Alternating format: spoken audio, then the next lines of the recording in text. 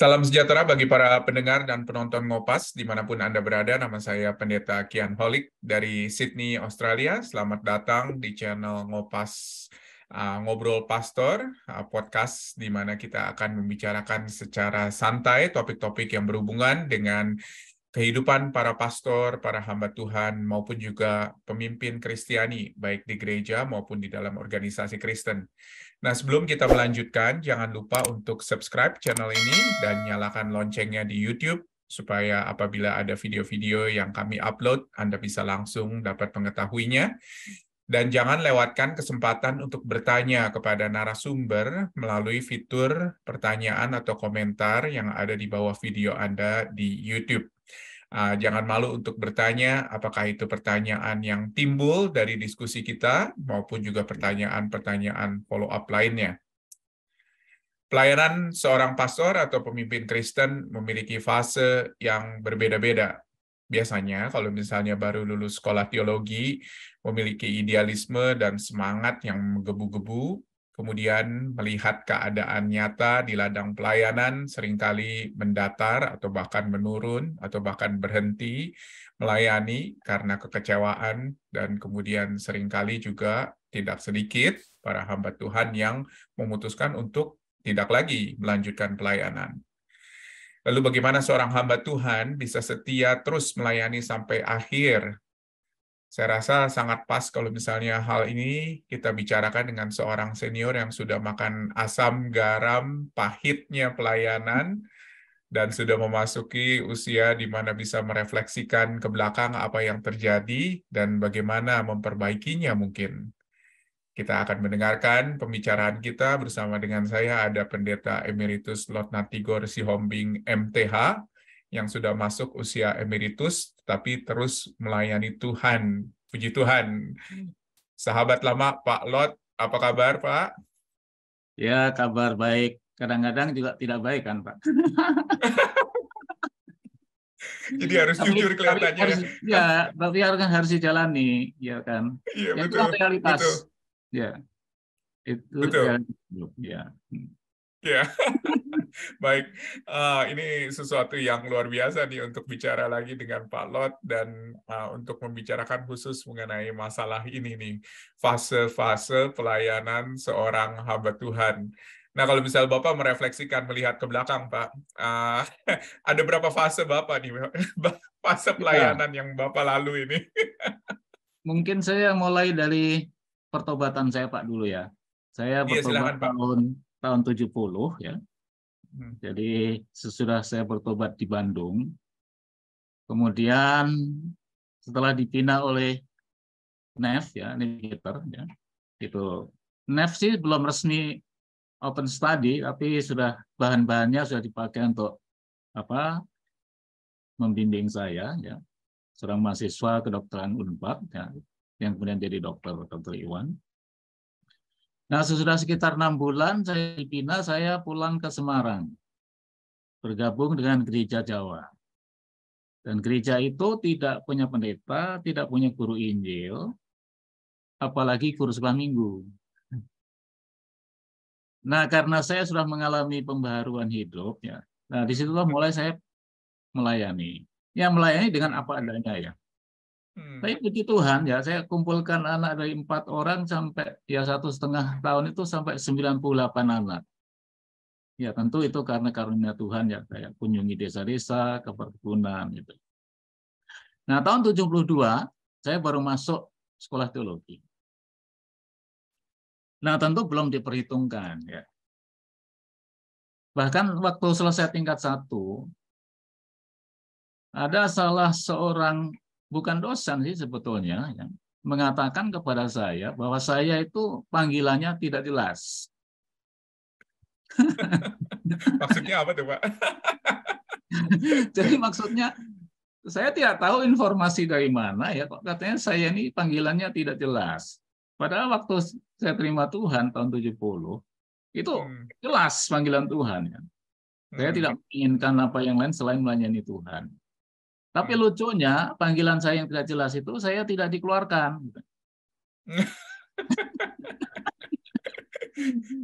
Nah, jadi maksudnya panggilan tidak jelas tapi uh, tetap diizinkan sekolah teologi gitu, Pak? Maksudnya? Ya, ya, ya. Okay. Uh, uh, uh. Jadi yang teman-teman saya juga pada bingung. Uh.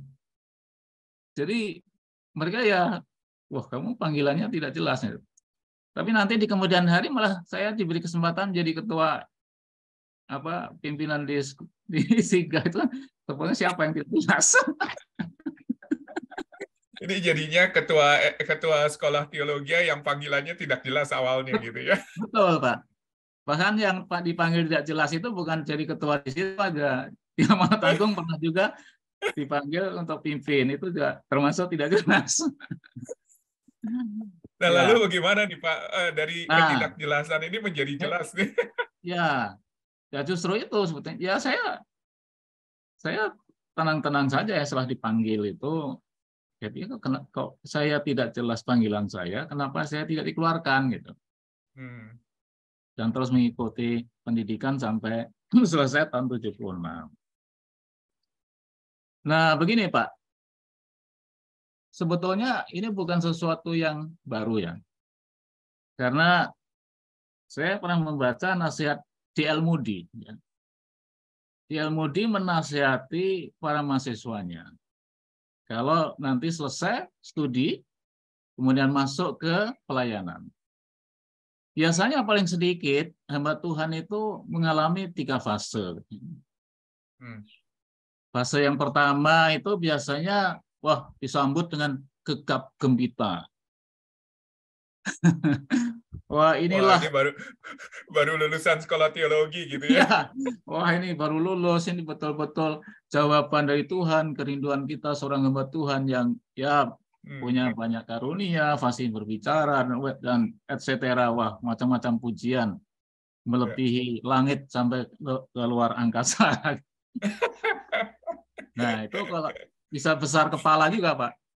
Betul, betul. Disambut, disambut sana sini khotbahnya bagus, disalami, ya senang, banyak orang mulai senang, undang sana, undang sini, ya, itu masa bulan madu lah gitu ya.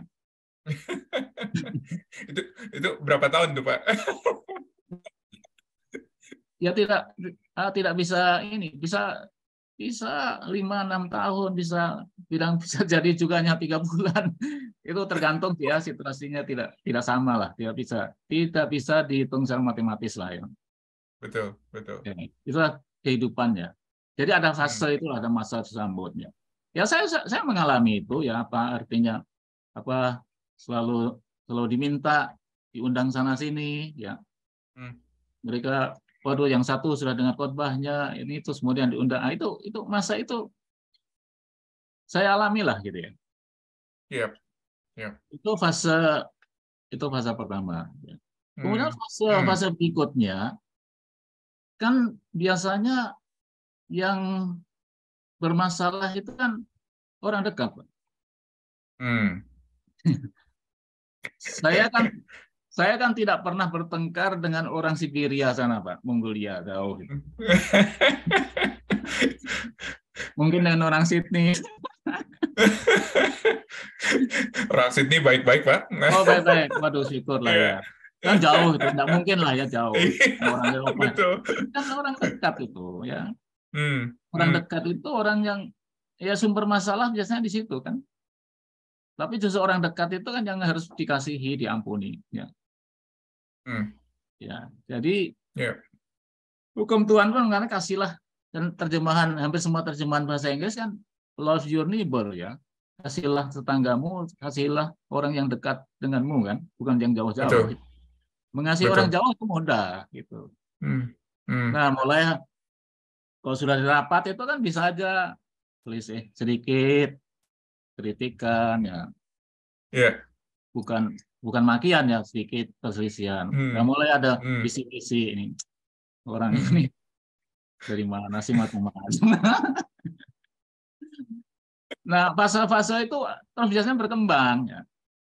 Iya. Yeah mulai dari tempat tertutup kan biasanya sampai ke tempat terbuka kan betul betul ya. jadi dari malu-malu sampai terbuka begitu ya betul itu kan biasa itu hmm. yang karena yang di tempat tersembunyi akhirnya kan diumumkan di apa di atap rumah gitu yeah, Jadi mulai yeah, yeah. mulai ada orang merasa kejangkitan sakit hati. Hmm. Nah, yeah. sakit hati itu kan virus yang lebih cepat viral daripada COVID kan? Hmm. Dari sakit hati dua tiga orang, regu sakit hati, kompi sakit hati, batalion sakit hati, sampai divisi sakit hati, itu semua kan barisan sakit hati. Dan sakit hati itu kan tidak bisa disembuhkan dengan obat apa pun. Gitu ya Pak, nggak ada nggak ada obatnya yang mujarab ya, gitu ya. Karena dokter pun banyak yang mengidap sakit hati loh. rumah sakit sakit hati ada Nah, yeah, yeah. itu fase fase yang mulai apa sedikit mendung gitu ya. Hmm. Nah, kalau sudah yeah. begitu tidak ada penyelesaian, mulai yang dulu menyebut yeah. Hosana Mubaraklah, Hosana hmm. disambut dengan sambutan yang begitu hebat. Nah, mulut yang sama sudah mulai mulai kritik, terus kemudian yang terakhir bisa jadi salibkan dia, salibkan dia. Hmm. Mutasikan dia. Mutasikan. dia. Tapi kalau, dia, kalau kehidupan, tidak cukup, Pak. kehidupan mutasikan tidak cukup. Kemudian amputasi dia. Sesudah mut, mut, apa mutilasi dia. Nah itu, Pak. Nah, nah ini ini kalau belajar dari kehidupan Tuhan Yesus, kehidupan Tuhan Yesus itu nggak sampai eh, pelayanannya nggak sampai tiga tahun, tiba-tiba dalam waktu tiga tahun, akhir tiga tahun itu langsung minta disalibkan gitu pak. Kalau misalnya kehidupan hamba Tuhan itu lebih lama dari tiga tahun sampai disalibkan nah, atau lebih itu, lebih cepat menurut pak? Itu itu zaman Sputnik itu pak, cepat. Tapi ini pesawat kita ini baling-baling jadi. CN 235 ya.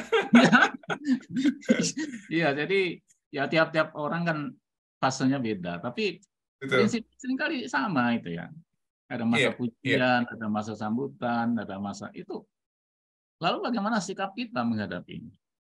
Nah, itu dia, Pak. Uh, kalau misalnya Pak Lot sudah pelajari begitu ya, dari paling tidak dari dua fase besar itu, itu bukan hanya apa yang terjadi, tetapi apa yang bisa dipelajari. Dan khususnya nih Pak, terutama di fase-fase bulan madu nih. Di ya. fase bulan madu dan juga di fase turbulensi, boleh dibilang. Um, kalau misalnya Bapak melihat ke belakang, kira-kira ada uh, pelajaran, ada peringatan bagi Tuhan yang mungkin ada di dalam fase-fase tersebut? Ya, Bapak tadi sebutkan dengan masa disambut dengan yeah. sambut dengan gembira.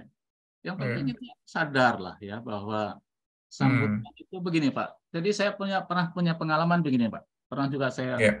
sering di vlog kita itu. Hmm. Jadi satu hmm. kali saya menjadi ketua panitia kebaktian tahunan di Batu. Nah pada waktu itu yang diundang untuk membuka kebaktian tahunan itu Panglima Abri masih zaman zaman itu Panglima Abri Pak Tri Sutrisno. Yeah.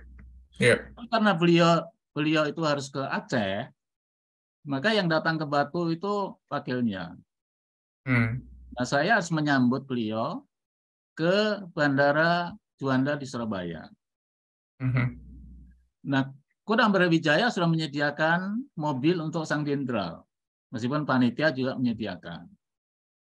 Nah, sang jenderal itu minta supaya saya satu mobil dengan dia supaya dia bisa bayangkan apa sih yang saya harus sampaikan seperti apakah itu apa kebaktian tahunan ya. Akhirnya kan saya satu mobil dengan beliau. Yeah. nah sepanjang jalan ya, dari bandara Juanda sampai ke Batu itu tentara-tentara di pinggir jalan pada hormat. Karena ada jenderal lewat pak. Yeah, betul betul. hormat semua itu. Tapi saya hmm. tahu diri pak yang hmm. dihormati hmm. itu sang jenderal. Iya. Yeah. Saya. Tapi saya kan kecipratan kecipratan hormat, Pak. nah, saya rasa hamba Tuhan juga harus sadar seperti ini.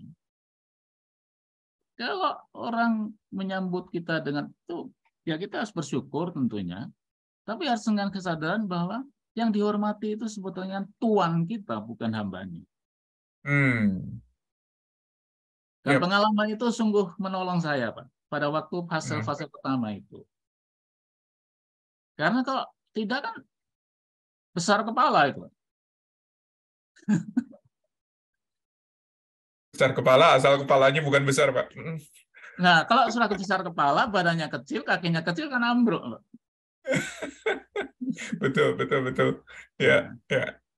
Nah, di situlah yang perlu disadari oleh teman-teman yang masih muda, yang sedang naik-naik hmm. daun, yang sedang yeah. dalam ya. suasana yeah. apa euforia lah gitu kan istilahnya yeah. umum gitu ya. Bulan madu ya, seperti yang tadi Bapak katakan ya. Bulan madu. Iya. Iya. Yeah. Tapi ketika ketika turbulence ya, ya tadi saya yeah. katakan kita itu kalau naik pesawat kan tidak selalu tenang ya. Hmm. Kalau masuk di cuaca buruk, yang paling penting itu duduk di kursi dan kenakan ikat pinggang pengaman, safety belt ya. Yeah. Dan yeah. jangan yeah. jangan keluar di pesawat gitu. itu yang bahaya itu. Nah itu.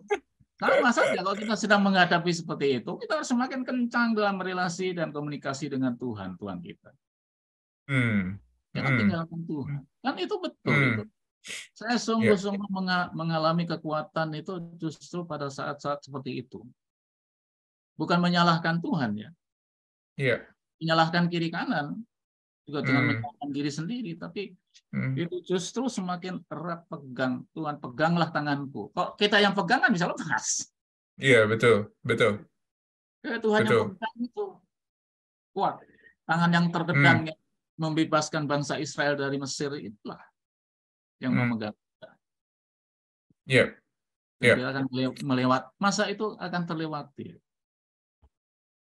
Hmm. Jadi kelihatannya dari dua fase ini Pak Lot melihat bahwa fokus seorang hamba Tuhan ini tetap harus kepada siapa yang kita layani ya jadinya ya. Di awal itu ketika naik uh, ingat kalau misalnya ketika kita dipuji, sebetulnya mereka itu memuji Tuhan yang kita layani dan hmm. jangan besar kepala. Ya. Dan mungkin juga selalu ingat kalau misalnya kehidupan kita sebagai hamba-hamba Tuhan itu sebetulnya tidak ada apa-apanya, gitu ya, karena kita itu adalah pelayan.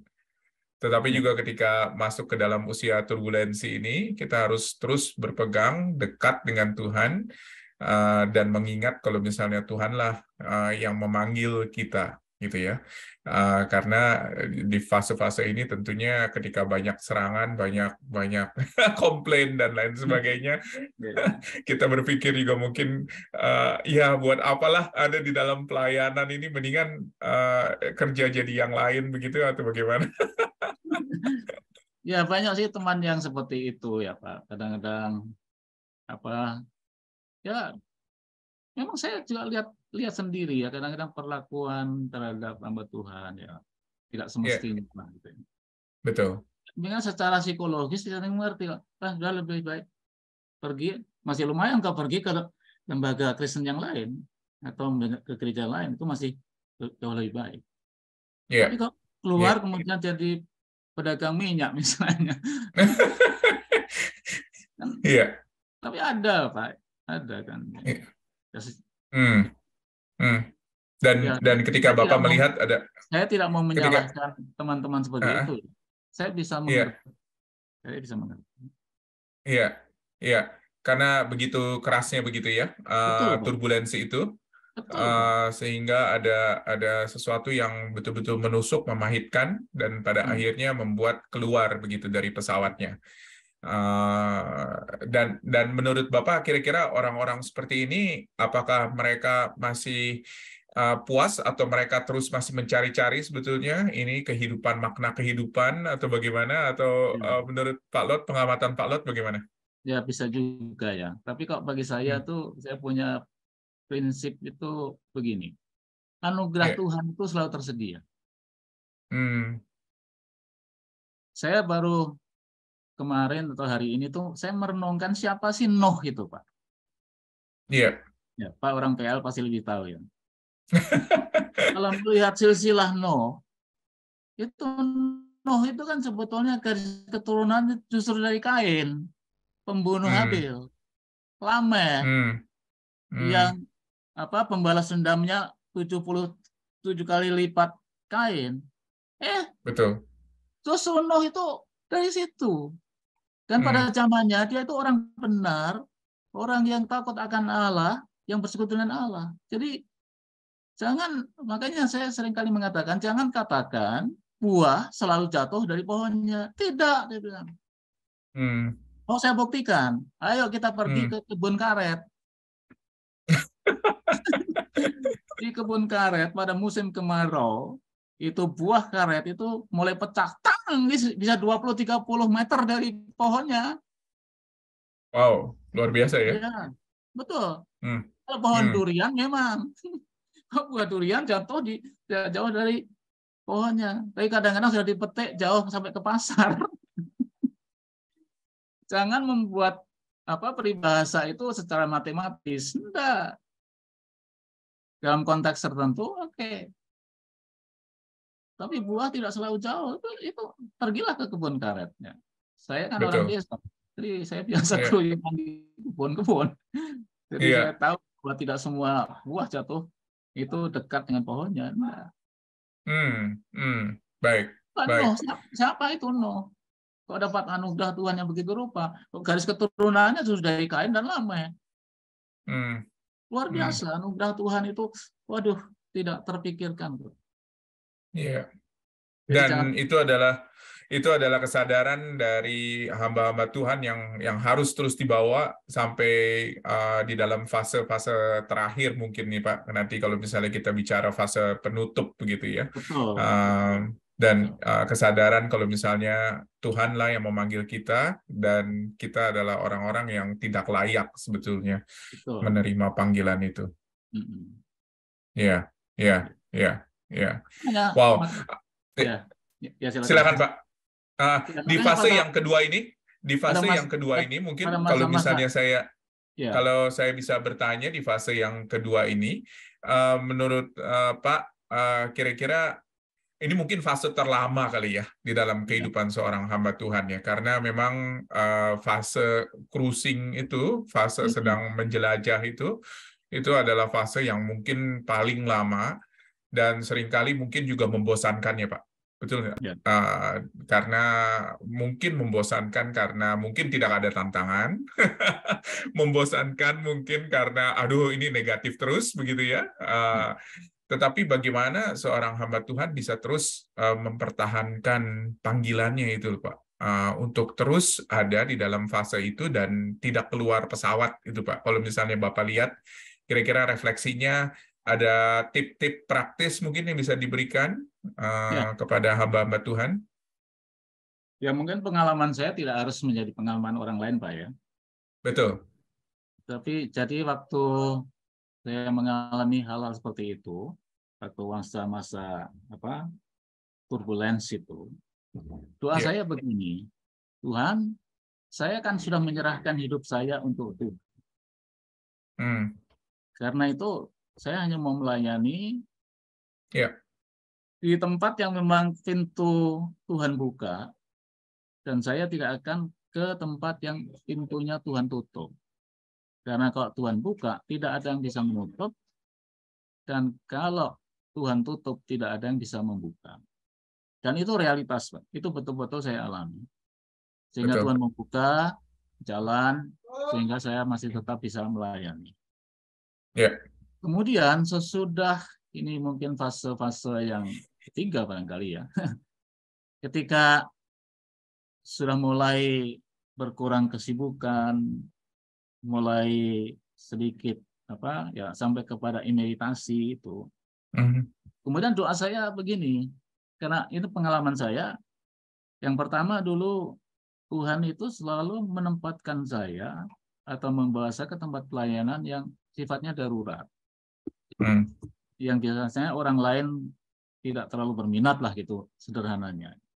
Hmm. Kalau ditempatkan di tempat pelayanan seperti itu. Sampai yang terakhir kan ya tahu kondisi amat agung pada awalnya kan betul-betul darurat itu. Dan Tuhan bawa ke situ. Sampai akhirnya emeritasi. Nah, sesudah imitasi, doa saya itu begini. Meskipun saya masih dikontrak dan kemudian sudah jarang berkhotbah, jarang mengajar. Tuhan saya ini sudah jarang berkhotbah. Saya jarang mengajar. Apa sih yang masih saya bisa lakukan untuk menjadi berkat bagi orang lain? Ya. Nah, kemudian saya saya kan suka buat puisi. Iya. Yeah. Puisi saya posting di Facebook. Ya, tetap ada yang merespon lah. Kemudian apa apakah masih ada lagi yang bisa saya lakukan? Nah ini Togar kan punya keahlian apa itu istilah namanya ya kayak Papa enggak mau bikin apa itu apa renungan atau ilustrasi atau apa yang pendek-pendek itu. Hmm. Bisa di Facebook, bisa nanti di YouTube. Ya cobalah. Yeah. Jadi mulailah saya dengan mulai tampak tilas, kemudian buat renungan, Betul. buat apa ilustrasi yang sederhana ya itu sudah diposting jadi ya kok lihat itu apa impresinya dan sebagainya bisa sampai 300 400 waduh luar biasa yang Betul. penting bagi saya kan masih bisa membagi sesuatu hmm. yep. jadi hidup ini tetap punya manfaat kok tidak tidak bukan tidak bermanfaat kaki yeah. itu di bawah itu tetap bermanfaat kalau kalau kalau boleh tahu sekarang Bapak selain bikin uh, vlog, uh, kemudian ada posting puisi, uh, kegiatannya apa lagi Pak sekarang Pak? Ya kegiatan biasanya saya suka tanam menanam kan saya ini kan dulu dari dulu tuh saya suka bertani, suka tanam menanam ya. Yeah. Dulu waktu sebelum masuk ke kan kan saya suka kalau bicara ya saya tidak tidak ahli betul ya, tapi kalau yeah. orang bicara tentang kopi, mungkin peminum hmm. kopi itu tidak mengerti bagaimana memilih jenis kopi untuk ditanam. Betul. sungai, cari lahan yang sesuai dengan tanaman kopi, bagaimana memelihara kopi, bisa sebelum berbuah, sampai kapan hmm. itu teh dan seterusnya sampai itu jadi minuman di atas meja. Saya saya tahu pak, ya bukan ahli tapi saya tahu. Iya. Yeah. Kalau vanili, jadi dua jenis tanaman itu ya katakanlah itu paling tidak tingkat SD lah, tidak sampai perguruan tinggi ya.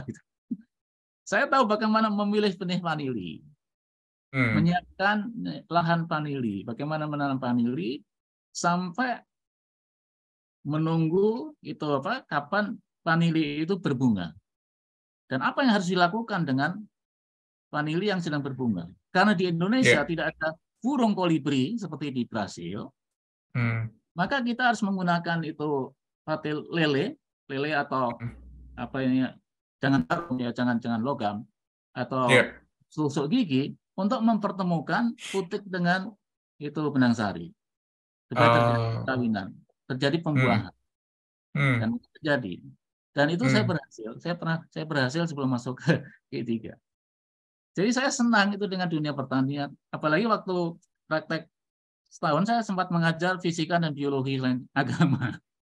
Iya, iya. Biologi yeah. itu satu pelajaran yang saya, saya sangat suka. Ya sekarang saya suka tanam lombok. Tanam hmm. lahan yang sangat sedikit ya di rumah itu lahan halaman tidak banyak. Tapi saya pakai polybag menanam lombok. Wow. Wow.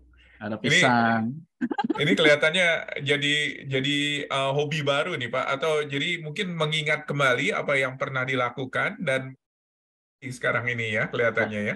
Dan dengan tanaman itu saya bisa berkomunikasi. Ini bukan soal ah. ya saya berkomunikasi bukan, bi kenapa ya? Bukan bicara dengan pohon lombok Pak, bukan? Ya, dengan lombok saya pernah gini. Jadi saya tanam lombok itu pernah itu lama tidak mau berbuah. Saya sudah coba yeah. Apa yeah. sebabnya? Apa sebabnya? Yeah. Saya pergi ke tempat apa trubus atau ke pinggir jalan yang jual-jual tanaman itu saya diskusi hmm. dengan mereka. Orang-orang sederhana. Kenapa ya hmm. ya lombok saya itu begini-gini? Pilihkah itu pupuk misalnya hmm. NPK 1616 ya, dicoba. Iya. Yeah. Yeah. Akhir itu sampai saya kasih ya, saya kasih yeah. apa? Itu apa pupuk?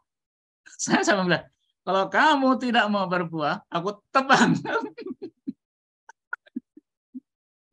itu di depan itu buahnya lebat sekali Pak sekarang. Puji Tuhan. Jadi ya. kelihatannya uh, hobi baru ini uh, membuat ada hubungan baru, membuat juga uh, sebuah kegiatan baru, uh, melahirkan juga sesuatu kesibukan yang pada akhirnya berguna ya. Uh, Betul, kelihatannya ini itu menyegarkan kan. Seringkali saya pakai ilustrasi khotbah. Betul. ya. Betul. Kan, Baik. Ya senang lihat. Jadi kalau lihat apa lombok misalnya ini yeah. lebat sekali daunnya, tapi kok yeah. nggak berbuah. Ya saya mulai pelajari apa sebabnya. Saya kurangi hmm. daunnya. Mm. Ya. Mm. Daun-daun itu hmm. hanya menghabisi nutrisi aja.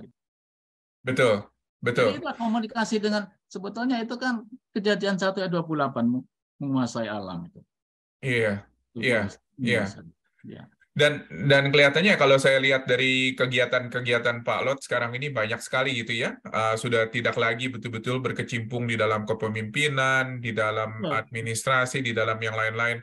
Uh, apakah itu sengaja Pak untuk memberikan kesempatan kepada yang lain, ataukah memang uh, ada alasan lain Pak kenapa uh, uh, untuk karena kan masih banyak ya menurut saya masih banyak juga gitu hamba-hamba Tuhan Betul. yang usianya kita sebut usia emas lah ya gitu ya Betul. tetapi masih terus sibuk dan masih terus berpengaruh dan masih terus ada gitu loh jadi memang ada dampak dampak keluar dan dampak untuk internal saya sendiri jadi baik saya dari dulu itu kan selalu mengkritik kepemimpinan yang tidak regeneratif yang tidak hmm. memikirkan regenerasi kan itu ya berkali-kali masuk dalam lembaga yang seperti itu ya.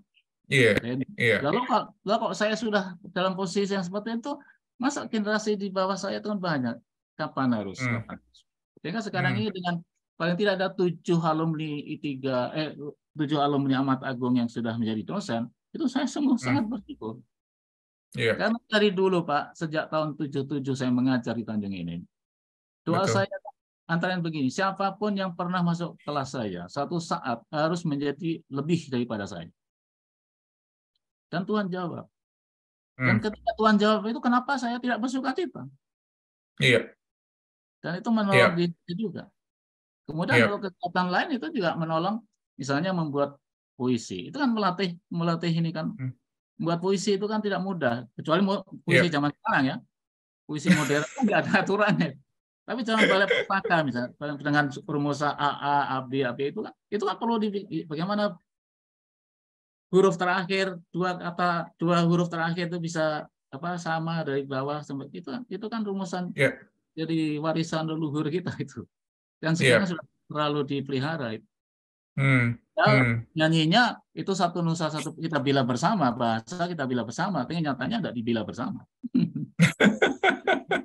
ya, ya, ya. Wow, ini menurut saya satu satu momen yang uh, baik sekali karena momen ini bukan hanya momen untuk pada akhirnya ya menghabisi hidup atau mungkin juga uh, menyelesaikan hidup dan lain sebagainya, tetapi ini momen yang tetap diisi untuk belajar sesuatu yang baru, untuk melakukan sesuatu yang baru, uh, tetapi tetap menjadi produktif begitu ya uh, di dalam Betul. usia ini. Uh, dan saya rasa ini adalah sesuatu yang perlu dipelajari juga oleh hamba-hamba Tuhan yang lain yang masuk ke dalam usia ini. Wow, luar biasa. Uh, setiap kali saya bicara dengan Pak Lot, saya selalu belajar sesuatu yang baru dan saya bersyukur sekali buat waktu ini. Terima kasih banyak Pak. Uh, ya. Mungkin Pak Lot bisa tolong tutup di dalam doa uh, dan tolong doakan hamba-hamba Tuhan nih Pak, uh, terutama yang ada di dalam fase yang berbeda-beda ini untuk mereka terus dekat dengan Tuhan seperti yang tadi kita bicarakan, mengikat uh, dirinya dengan Tuhan dan terutama juga bagian terakhir itu bagaimana mereka terus bisa produktif di dalam Tuhan. Uh, saya rasa itu doa kita bagi semua hamba-hamba Tuhan. Terima kasih Pak Lot. Ya, kita berdoa. Bapak kami di surga, kami berterima kasih untuk kesempatan ngopas pada pagi hari ini bersama dengan Pak Kian. Apa yang kami bicarakan bukan sesuatu yang kami hanya mengarang, tapi satu perjalanan hidup yang realistis dalam mengikuti panggilan Tuhan. Kami tahu Tuhan segala sesuatu ada masanya, ada waktunya.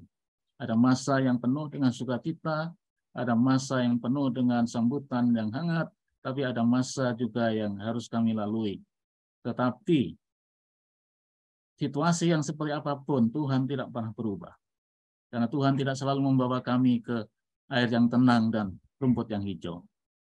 Kendati pun di bayang kekelaman, Tuhan tetap beserta dengan kami. Karena itu kami berdoa untuk hamba-hamba Tuhan.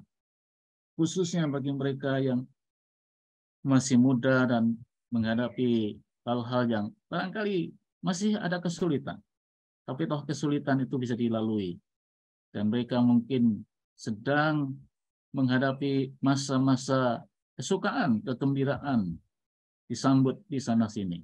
Tapi itu pun juga akan terakhir. Tapi pada masa masa akhir pelayanan, supaya tetap menghasilkan sesuatu yang bernilai kekal, tetap menjadi berkat, tetap produktif. Itulah kerinduan kami Tuhan.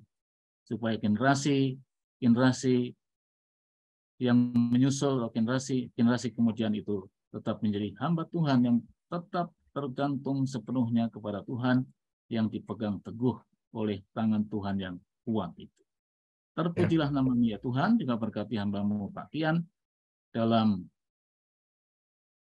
uh, program Ngopas ini Tuhan terus memberikan kekuatan dan tetap menjadi berkat bagi banyak orang. Terpujilah namamu ya Tuhan, sempurnakanlah doa kami ini, karena kami berdoa di dalam nama Tuhan Yesus Kristus. Amin. Amin.